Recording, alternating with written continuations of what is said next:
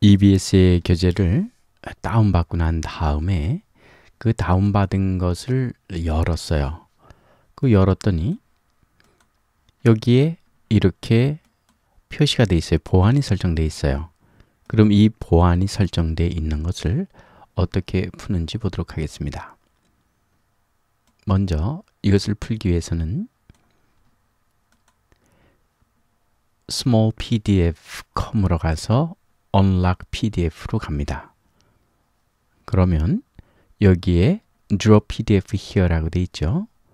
여기에 끌어다가 넣습니다.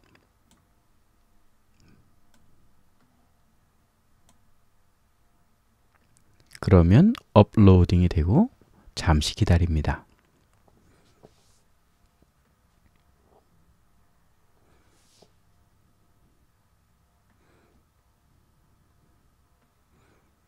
클릭해 주죠. 그리고 Unlock PDF를 누릅니다.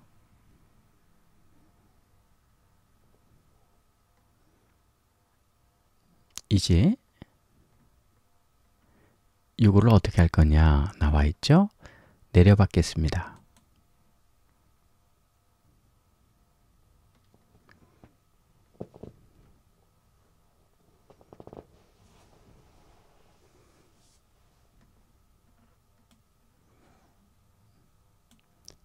내려받는 게 완성이 되면은 여기에서 내려받는 게 끝났다고 나오겠죠.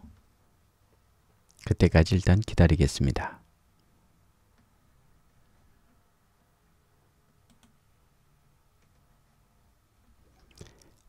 다운로드가 완료됐네요. 자, 이제 다운로드가 완료된 걸 열어보도록 하겠습니다.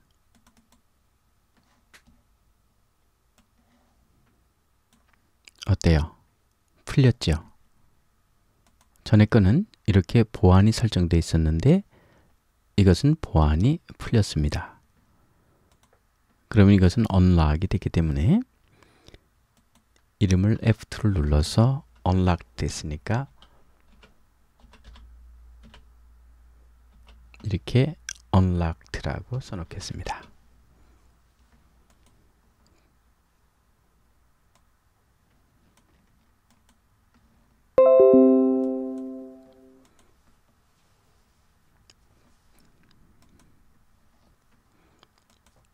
이제 또 반복해서 lock을 풀도록 하겠습니다.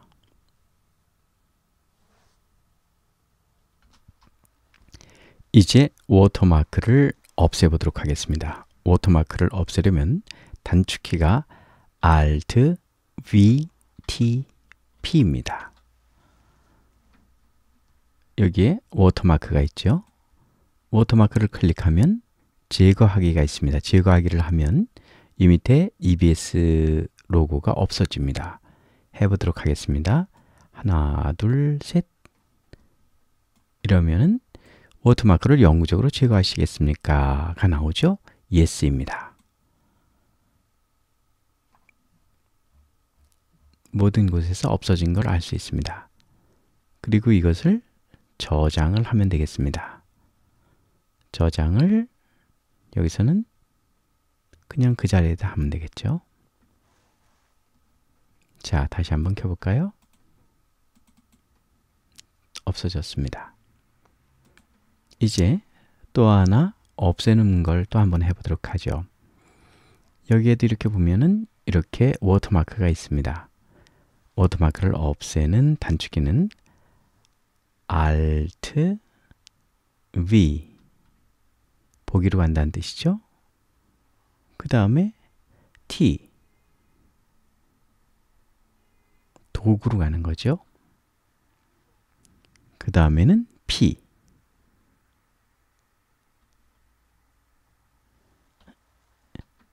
그러면 워터마크가 나옵니다. 워터마크에서 제거를 눌러줍니다. 대화 상자가 워터마크를 영구적으로 제거하시겠습니까? Yes. 제거되었습니다. 이 상태에서 저장을 해 주시면 되겠습니다. 껐다 켜보죠. 두 가지가 다 완벽하게 제거되었음을 알 수 있습니다.